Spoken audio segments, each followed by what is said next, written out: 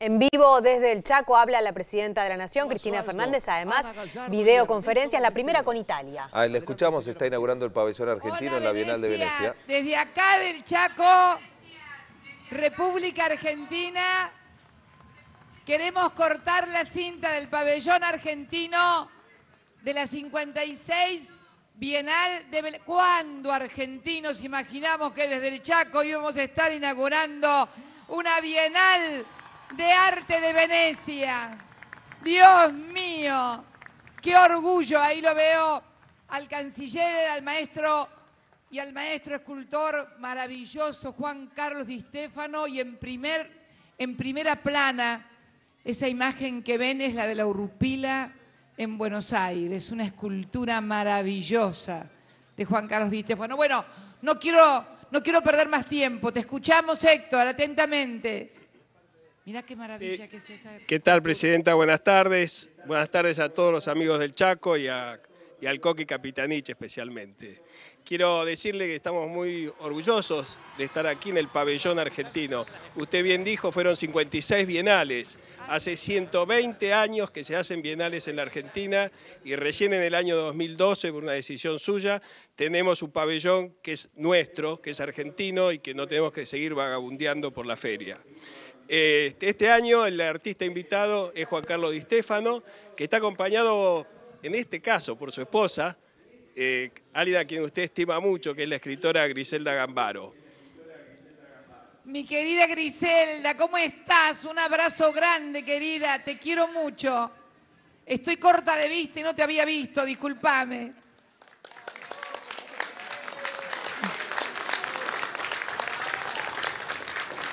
Usted sabe, en el 2010 Griselda Gambaro dio eh, el discurso oficial en la Feria de Frankfurt y este año Juan Carlos Di Stefano, su esposo, inaugura, o sea, es el representante argentino ante, ante esta muestra, ante la Bienal de Venecia.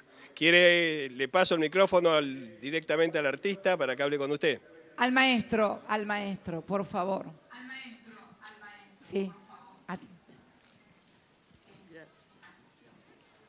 Dígame, Adelante, Juan Carlos, acá te escuchamos. No, bueno, la escucho a usted, la escucho a usted y lo único que puedo hacer es agradecer esta, esta distinción en, esta, en este pabellón estupendo que han hecho con, todo amor eh, la, la Cancillería y los los artistas que, me han acompañado acá, de, bueno, con, todo lo que pudieron hacer y yo creo que ha salido eh, una muestra que las obras, bueno, parecen buenas. Juan Carlos, a vos, a Griselda, quien quiero mucho, a vos también, pero te conozco menos que a Griselda, con Griselda hemos compartido eh, muchos encuentros, a todos los artistas, escultores que te acompañan, pintores, artistas calificadísimos argentinos, quiero darles un gran abrazo en este pabellón. Chicos, bajen las banderas que todos quieren ver las esculturas del maestro Di Stefano, por favor. Mejor dicho, enrollen las banderas, las banderas no se bajan nunca. Pero bueno, eh, quiero decirle al maestro que esa maravilla que se ve ahí, la Urupila en Buenos Aires, que me parece realmente una creación impresionante. Recién veíamos también eh, a la palabra, creo la palabra 2. También hay una, muy, una, una escultura muy impresionante de los iluminados. Estuve mirando todo lo que es el catálogo, pero la verdad que me emocioné mucho cuando vi que al frente de la inauguración estaba la Urupila en Buenos Aires, porque es todo un símbolo la Urpila en Buenos Aires. Para los que no saben, la Urpila es un personaje literario eh, muy favorito de Juan Carlos Di Stefano y es el interior, el país profundo, el país de que estamos acá en el Chaco, que llega a Buenos Aires y en su carrito va a buscar lo que eran los cartoneros en aquel entonces y se puede ver que tiene el obelisco en ese carrito. La verdad, maestro, quiero felicitarlo porque es una maravilla y un homenaje a todos los hombres y mujeres de la Argentina profunda. Ha sabido captar, ha sabido captar como solamente lo saben hacer los artistas con su sensibilidad, lo que significa la recuperación y la llegada de la Urupila a Buenos Aires. Toda una metáfora. Muchas gracias y bueno, y estamos muy contentos de poder compartir con todos ustedes esta 56 Bienal Argentina en nuestro propio pabellón, un pabellón de los más hermosos y de los más importantes de esta muestra, que sin duda alguna es la muestra de arte más importante del mundo. Y ahí está Argentina, con uno de sus mejores exponentes, el maestro Juan Carlos Di Stefano. Gracias a todos, a la Cancillería, a los artistas, a Di Stefano. Y bueno, que disfruten mucho Venecia, que es maravillosa. Porque tenemos la convicción de que hay que seguir trabajando para que todos los argentinos, sin excepción, tengan las mismas oportunidades desde Chaco. Nos contactamos con el puerto de Buenos Aires para ser parte de la recepción de nuevas formaciones, cero kilómetro para la línea Roca de ferrocarril. Desde allí el ministro de Interior y Transporte, Florencio Randazzo, el secretario general de la Unión Ferroviaria, Sergio Sacia, intendentes municipales y legisladores. Hola, Florencio, te escuchamos atentamente acá desde Chaco, Resistencia. Hola Cristina. Bueno, qué mejor forma de, celebrar un nuevo aniversario del nacimiento de esa gran compañera que fue Eva Perón, que es desde Chaco y con vos como presidenta. Seguramente Eva Perón sentiría orgullo que tengamos una presidenta como vos, una presidenta que tiene el coraje de tomar todos los días decisiones a favor de las, mayorías y acompañada por este gran compañero, este gran militante, esta gran persona que es Coqui Capitanich y de esta querida provincia de Chaco, donde la semana pasada estuvimos trabajando en esto que vos nos has pedido, que es recuperar el ferrocarril a lo largo y a lo ancho del país. Ya en Chaco tenemos más del 50% de la red ferroviaria nueva y estamos ejecutando la parte restante. En Chaco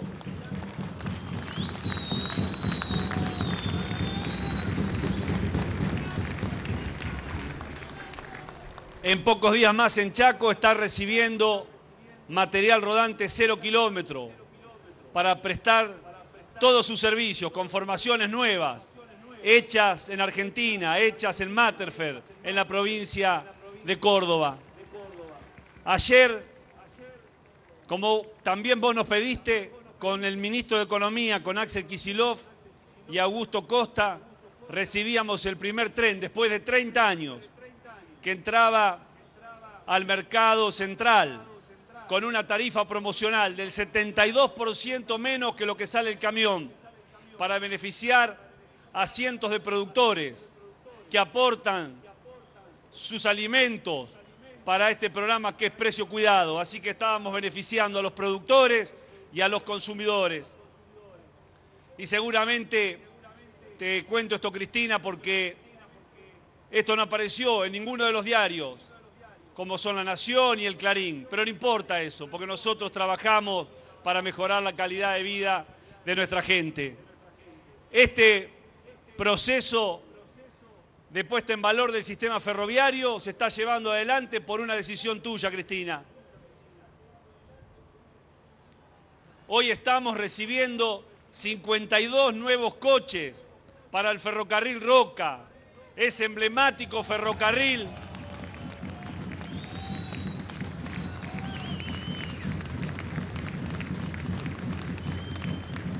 Que transporta a más de un millón de personas por día a ese emblemático ferrocarril que vos querés tanto, que está asociado a tu historia de vida. Compramos 300 coches que se van a integrar totalmente antes de junio y van a prestar un servicio de mayor calidad y mayor seguridad. Y esto no es un hecho aislado. Esto tiene que ver con el proceso de reconstrucción general del sistema ferroviario, como lo hicimos ya en el San Martín, en el Sarmiento, en los tres ramales del Mitre, ahora en el Roca, en los próximos días en el Belgrano Sur. en trenes de cercanías, de larga distancia. Este es el proceso de reconstrucción ferroviaria más importante de los últimos años, Cristina, y ha sido por decisión tuya. Sin embargo, tratan todos los días de desvalorizarlo, como tratan de desvalorizar todas las acciones que lleva adelante este gobierno. ¿Y quiénes tratan de desvalorizarlo? Los medios monopólicos, el poder económico, el poder judicial, el poder sindical, que se opone a este proceso de transformación de absoluta independencia de una presidenta que solamente está condicionada por el conjunto y la mayoría del pueblo argentino. Querida Cristina, este es un proceso, volviendo al ferrocarril, que tratan de invisibilizar, que tratan de ensuciar, con denuncias generadas en los medios monopólicos, instrumentadas por un poder judicial que es funcional a ese poder monopólico. ¿Sabes por qué? Porque yo soy precandidato de este espacio a presidente y no soy empleado. No soy empleado de ninguno estos factores de poder. Yo soy un militante de proyecto nacional y popular que conducís vos. Por eso estamos cumpliendo con este sueño de Néstor Kirchner, con este sueño tuyo, con el sueño de todos los argentinos para que vuelva el tren a lo largo y a lo ancho del país. Para que esta decisión política, que es nuestra bandera, que es la bandera de todos los que queremos este proyecto de país inclusivo, con justicia, haga que donde hubo un tren, vuelva a haber un tren en cada lugar de la Argentina. Te mandamos un fuerte abrazo, Cristina, nuestro cariño y nuestro compromiso de no volver nunca más atrás. Muchas gracias, Florencio, a vos y a todos los compañeros y compañeras ferroviarios que se encuentran allí y a todos los amigos y amigas que se han acercado para esto que es el renacer, compatriotas de los trenes en la Argentina que han vuelto para quedarse y para no irse nunca más. Gracias, Florencio. Muchas gracias. Aquí en Tierra Chaqueña seguimos profundizando el modelo de inclusión y desarrollo. Por eso nos comunicamos con Puerto Tirol para dar comienzo a la soldadura del Genea etapa 2, gasoducto troncal de la provincia del Chaco. Desde allí la intendenta de Puerto Tirol, Claudia Gronda, el subsecretario de Combustibles, Gastón Gioni, el interventor del Energas, Antonio Pronsato, subsecretario de Energía de la provincia, Alfredo Paredes, junto a vecinos como Edgardo Romero Pesini, que la escuchan atentamente, Presidenta. Hola Puerto Tirol, intendenta. Así que cambiamos intendente por intendenta. Me parece muy bien que las mujeres vayamos para adelante. Ahora lo tenemos de acá de ministro de Salud. Bueno, pero bien por la intendenta Claudia. Pronsato, contanos qué estamos haciendo hoy en Puerto Tirol, la primera soldadura en Chaco del gasoducto del NEA argentino. Te escuchamos. Así es, señora presidenta. Buenas tardes a usted y al gobernador. Se acaba de terminar la primera soldadura del gasoducto Genea. Permítame que les recuerde a quienes nos escuchan qué es ese gasoducto. Y no los voy a aburrir con datos técnicos diciéndole que es la obra más grande de toda la historia de la Argentina en gasoductos. No los voy a aburrir diciéndoles que son mil, mil kilómetros de gasoductos troncales y 3.000 de gasoductos de aproximación. Tampoco los voy a aburrir con datos económicos, diciéndoles que es una inversión que está realizando en ARSA a través del Ministerio de Planificación de 28 mil millones de dólares.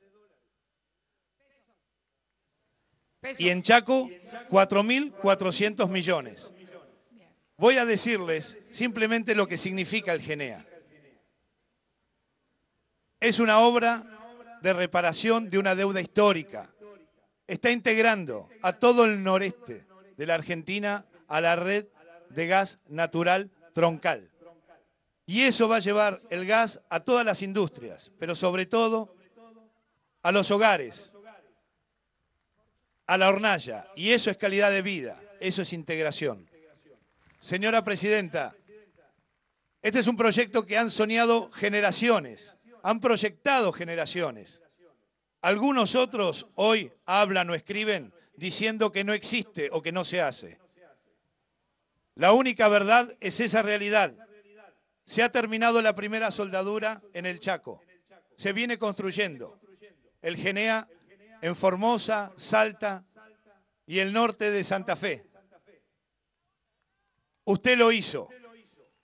Es un logro. Muchas gracias.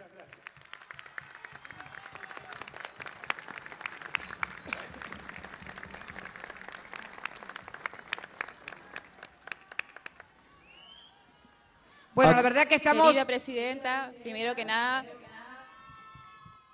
Te escucho, Claudia, te escucho, te escucho. Bienvenida, a, bienvenida al Chaco, bienvenida a Puerto Tirol.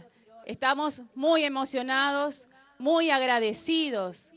Es importantísima esta obra, no solo para el Chaco, como decía acá el compañero Pronsato, sino también para todo el nordeste.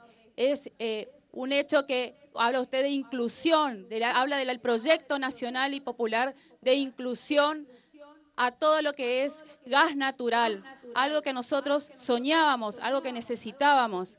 Como decía él, si usted mira el mapa de la red de gas de la Argentina, va a notar que en la zona del nordeste hay una mancha blanca, no hay ni una telaraña, porque no hay ni una red. Y gracias a usted y al proyecto que nació con Néstor, estamos por tener gas los vecinos de Puerto Tirol. Y acá mi compañero y amigo, vecino de esta localidad, le va a contar. Bueno, ah, hay un vecino, muy bien, porque en realidad eh, los gasoductos eh, no son obras de infraestructura eh, abstractas, son obras para la gente en definitiva. la inversión siempre en obra pública, lo hemos sostenido históricamente, es fundamentalmente llegar a la gente con servicios y con calidad de vida. Poder prender la hornalla sin tener que andar arrastrando la garrafa o el tubo de gas.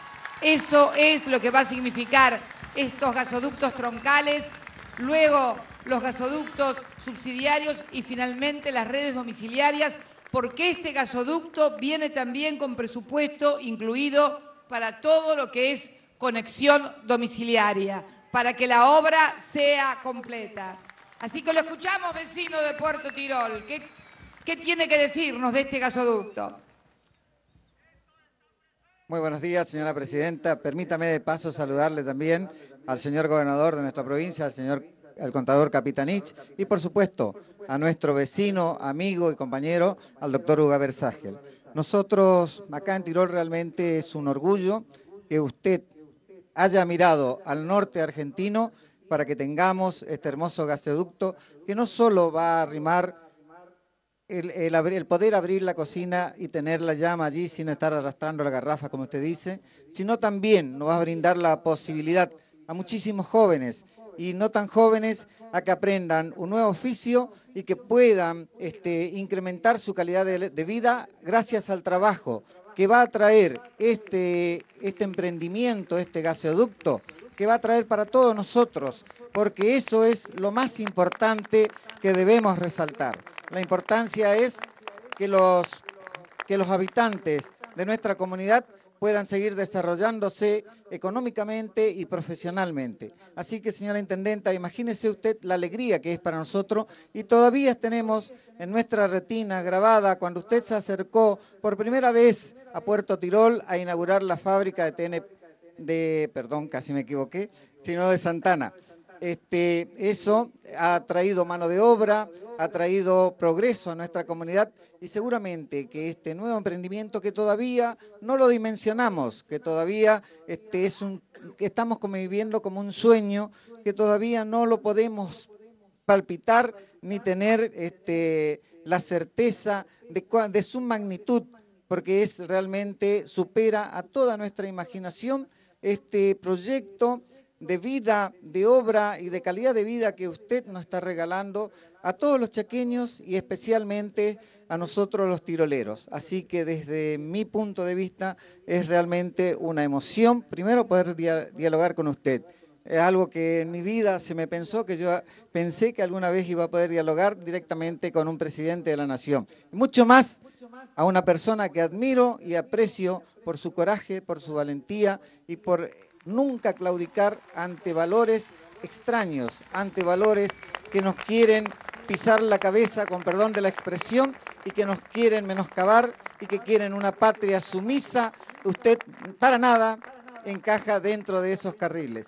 Así que muchísimas gracias. Gracias por venir nuevamente al Chaco, creo que es la novena vez que nos está visitando y de corazón, en nombre de toda la gente de Puerto Tirol, gracias por este regalo, por esta empresa que está trabajando acá en nuestra comunidad y que nos va a dar muchísima, pero muchísima alegría, como usted nos está dando, que va a transponer en los tiempos y en los años venideros, seguramente recién allí podrán valorar todo este trabajo que usted hace por nosotros, por todos los argentinos, por todo el país y especialmente por el olvidado y nunca bien recordado pueblo chaqueño.